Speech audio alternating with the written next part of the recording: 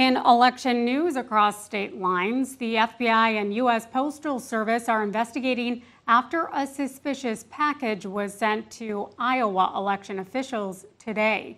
The package prompted an evacuation of the six story Lucas State Office building in Des Moines, where Secretary of State Paul Pate's office is located. Hazmat crews were brought in to investigate, and although the material was found to be harmless, the incident is raising concerns as early voting gets underway. Pate reassured Iowans that safety protocols are being followed and the election process remains secure.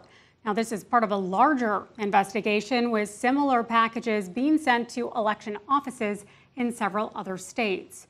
Officials are taking extra precautions to keep workers and voters safe in the lead up to the presidential election.